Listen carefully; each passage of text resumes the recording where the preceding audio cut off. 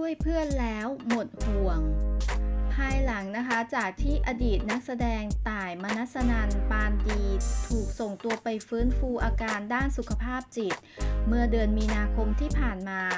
ล่าสุดค่ะเพื่อนนักแสดงอย่างคุณแตงโมดิดานะคะ ในฐานะเพื่อนเก่าที่เคยแสดงภาพยนตร์ด้วยกันมา ได้เผยความคืบหน้าอาการของต่ายว่า ตนเองก็ได้ไปเยี่ยมต่ายนะคะ เขาเนี่ยค่อนข้างต้องใช้เวลานานพอสมควรค่ะในการบำบัด เพราะว่าอาการหนัก แต่อยู่ในมือของคุณหมอแล้วไม่ต้องห่วง เพราะเขาก็คงมีระบบของเขาฟื้นฟูไปเรื่อยๆ ในเรื่องของสภาพจิตใจแล้วก็สารเสพติด อาการก็ดีขึ้นตามลำดับค่ะ แต่ให้คำตอบไม่ได้ว่าจะออกมาใช้ชีวิตปกติได้เมื่อไหร่ หรือว่าจะหายทั้งหมดเลยไหม ก็ขึ้นอยู่กับเขาค่ะว่าจะให้ความร่วมมือกับคุณหมอมากน้อยแค่ไหน ส่วนเรื่องค่าใช้จ่ายทางโรงพยาบาลก็เป็นผู้อนุเคราะห์ให้ ตอนนี้ก็เลยยังไม่มีการเปิดรับบริจาคใด ๆนะคะ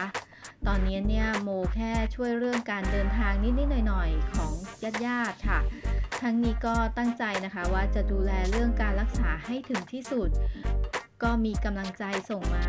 ช่วยเหลือทางด้านกำลังใจกันเยอะมากเลยค่ะ และนี่นะคะก็คือความคืบหน้านะคะ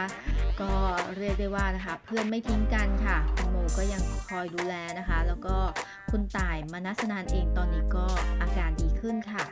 ก็ขอขอบคุณนะคะ ข้อมูลจากมิว18นะคะ ก็เอามาเล่าฝากกันเนาะก็หวังว่าเธอจะมีอาการดีขึ้นค่ะในเร็ววันนะคะ ก็ก่อนจบคลิปนะคะ ก็อย่าลืมค่ะกดติดตามแล้วก็กดกระดิ่งช่องเราไว้นะคะ จะได้ไม่พลาดข้อมูลข่าวสารใหม่ๆค่ะ แล้วมาเจอกันใหม่นะคะ ในคลิปหน้า